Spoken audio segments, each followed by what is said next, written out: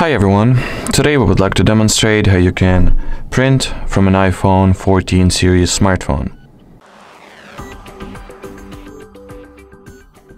Alrighty, so first of all you gotta open the document that you would like to print out. So I'll just enter the files, then go into the iCloud drive.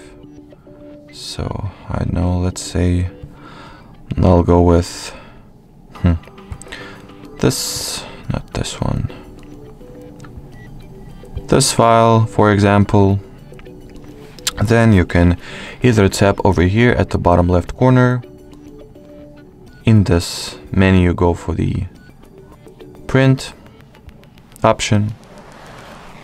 Choose what printer you would like to use that is located in the same Wi-Fi network with you or like some Wi-Fi printer close by, for example.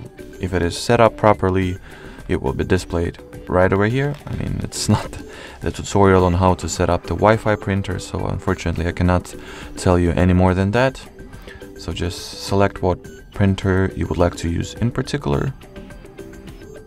Then choose how many copies you want to have, whether you want for the document you are about to print to be in color, whether you want for the print uh, for the printer to uh, well print on the both sides of paper or like each paper is one page of the document that you are printing out or you are about to print out as well as choose the paper size that you are using with your printer.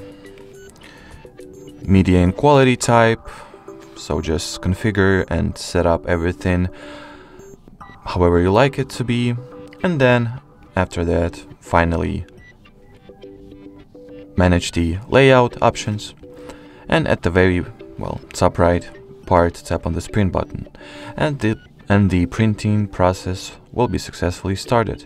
You can also by the way access the menu that we have just been working with from the top part over here. Just uh, well call out call out for this uh, menu then print and as you can see you'll be forwarded to the same page pretty much.